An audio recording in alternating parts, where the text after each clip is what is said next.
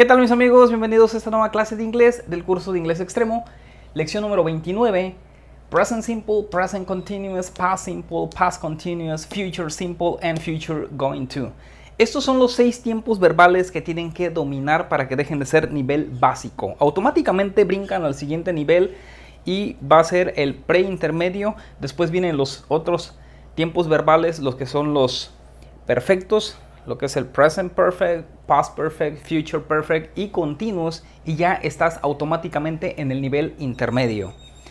En la secundaria normalmente se ven algunos de estos temas, los simples, se ve un poquito de going to, eh, planes también para futuro, pero no se enseña bien y cuando llegan a bachillerato tienen esos problemas porque dejaron huecos. En bachillerato sí se ven desde primero a cuarto semestre, se ven todos estos tiempos verbales pero los van arrastrando. Así es de que si estás en bachillerato, te recomiendo que veas este video porque vas a eliminar todos esos huecos, todas esas dudas que se vienen arrastrando desde primero hasta cuarto semestre.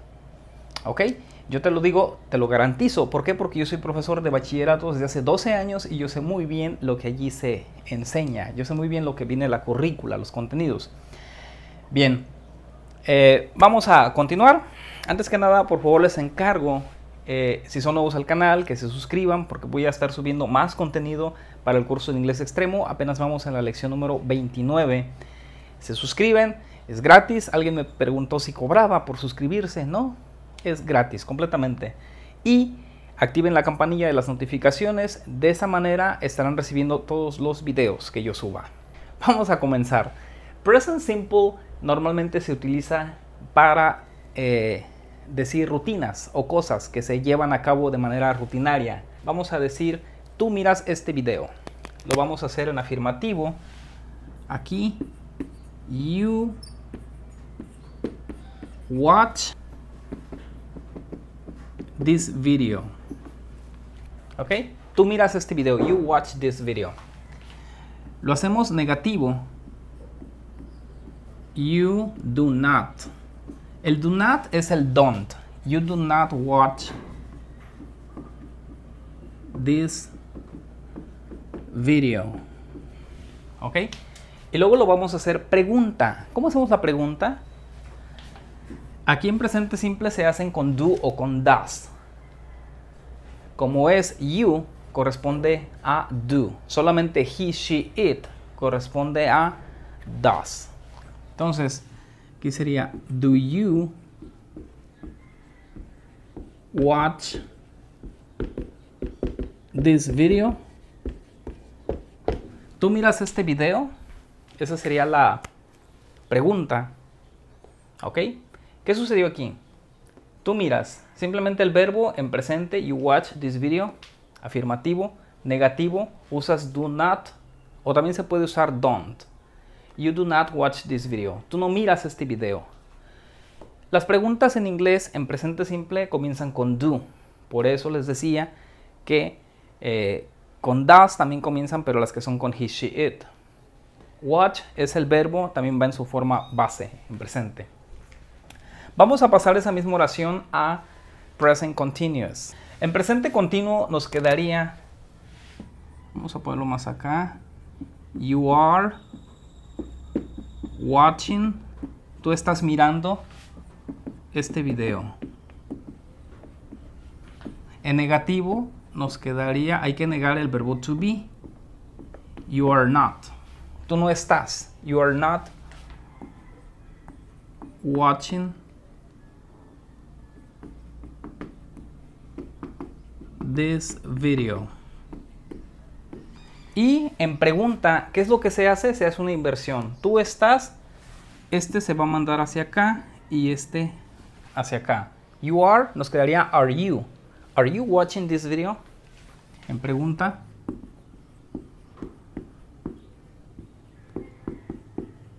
Are you watching this video? Vamos a ponerlo aquí. ¿Ok? Are you watching this video? También se pueden responder. Ahorita, ya que termine, vamos a responder todas eh, al mismo tiempo para ver las diferencias entre los tiempos verbales y cómo se responden las preguntas. En pasado simple nos quedaría, o sea, acciones que sucedieron. Tú miraste este video.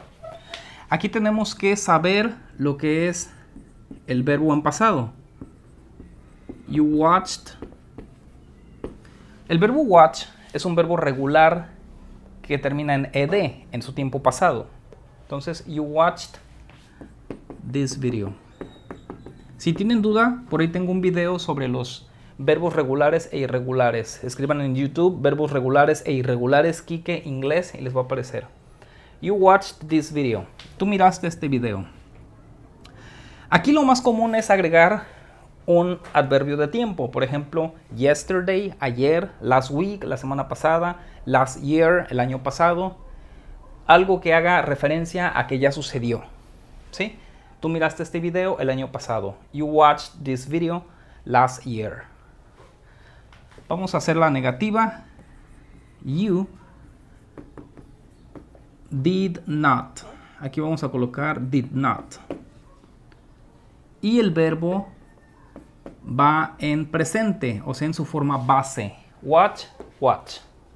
¿Por qué? Van a decir, Kike, si estás conjugando pasado simple, ¿por qué el verbo va en presente? Ok. Cuando usamos el auxiliary verb did, verbo auxiliar did, el verbo siempre va en presente. ¿Por qué? Porque did lo convierte todo esto a pasado. You did not watch, perdón, watch, tú no miraste. No ocupamos poner el verbo en pasado. En pasado solamente se pone en la afirmativa. En la negativa, solamente watch, porque lleva did.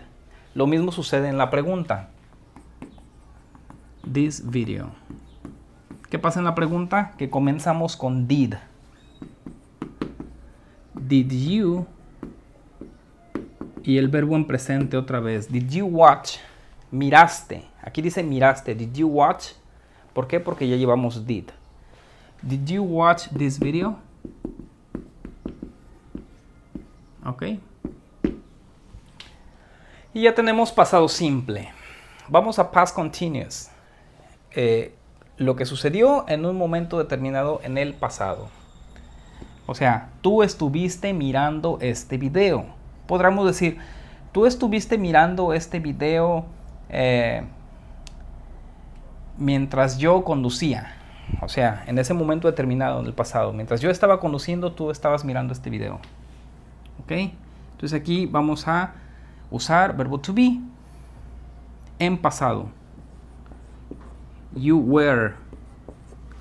Ese es el verbo to be en pasado. Más adelante les voy a hacer un resumen de todo lo que hice aquí y les voy a explicar las principales características de los seis tiempos verbales que tenemos aquí. You were watching. Tú estuviste mirando este video. Les decía, pueden complementarlo con un adverbio de tiempo que indique un momento determinado en el pasado. Negativa. You were not watching this video. Tú no estuviste mirando. You were not watching this video. Pregunta. Where. Comienza con verbo to be. Acá comienza en el present continuo. Comienza con you are. La afirmativa. La pregunta. Are you? You were, were you? Were you watching this video? Ok. ¿Qué sucede aquí? Que siempre cuando son tiempos continuos, los verbos llevan ing. Watching, watching. Mirando. Future simple. Aquí vamos a usar will. Tú mirarás este video. You will watch. Hasta ahí. You will watch. Verbo en su forma base, en presente. Tú mirarás. El auxiliar will simplemente va a convertir el verbo a futuro. Si dices you watch, tú miras. You will watch, tú mirarás.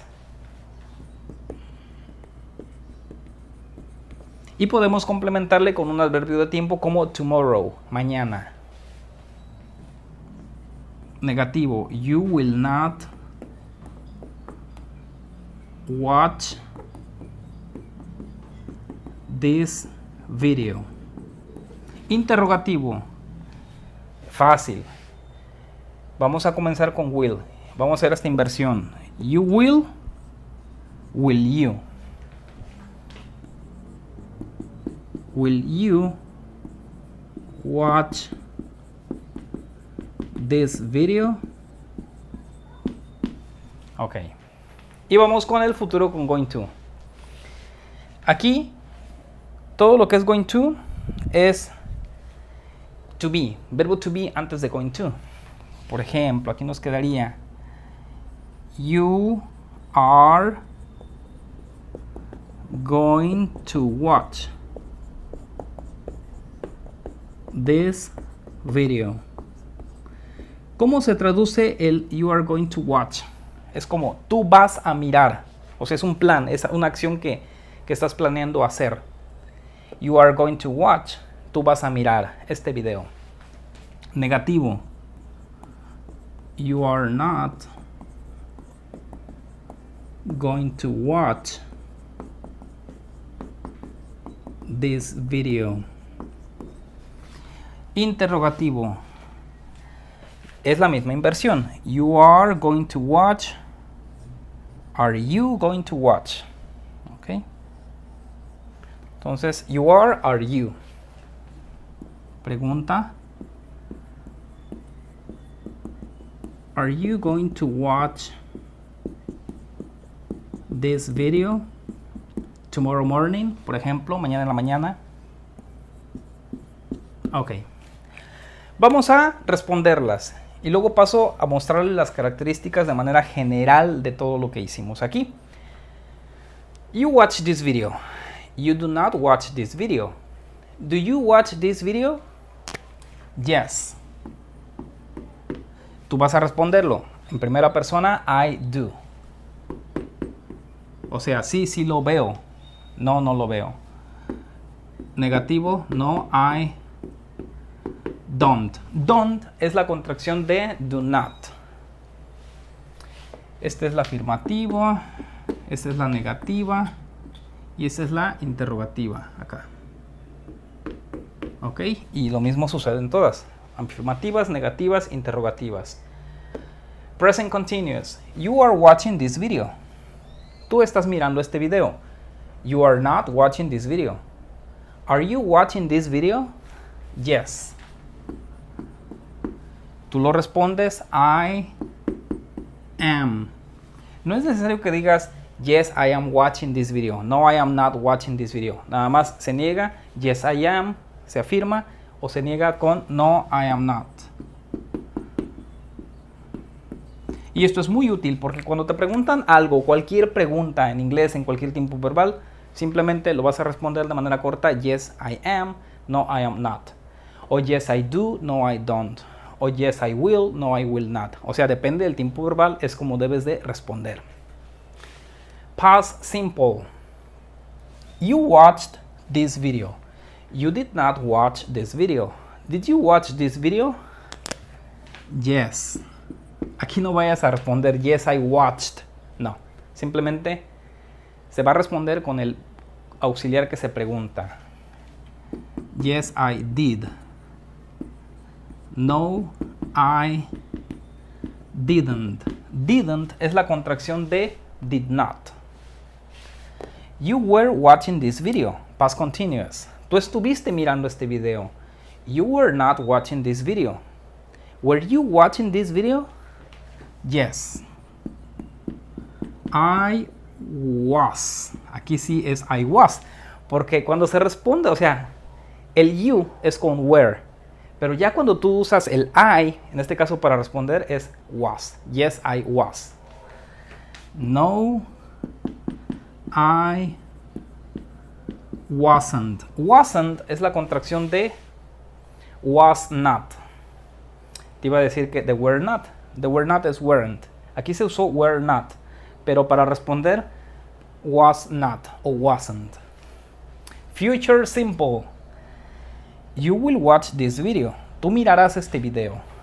Negativa. You will not watch this video. Interrogativa.